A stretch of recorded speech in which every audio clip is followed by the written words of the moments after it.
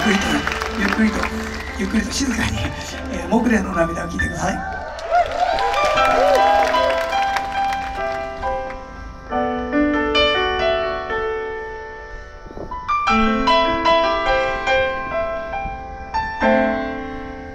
会いたく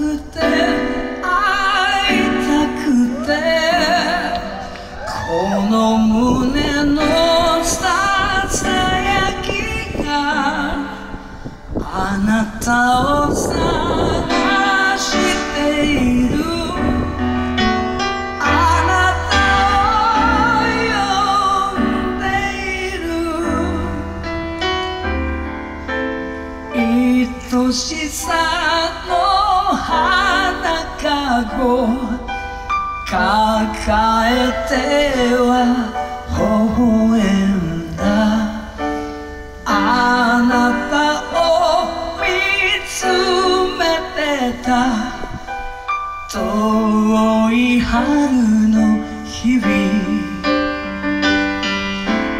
優しさを紡いで織り上げた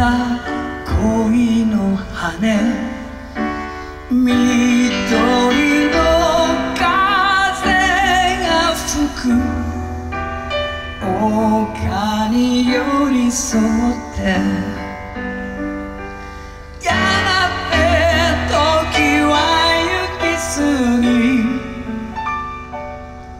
幾度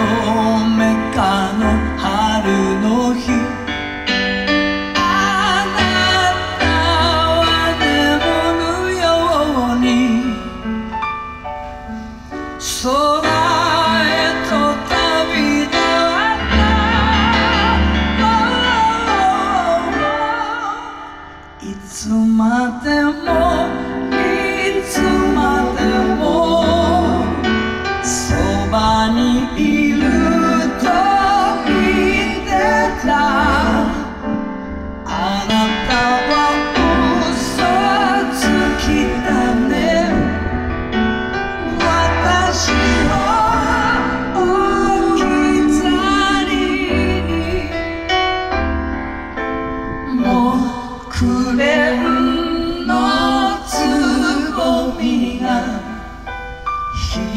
開くのを見るたびに溢れ出す涙は夢の後先に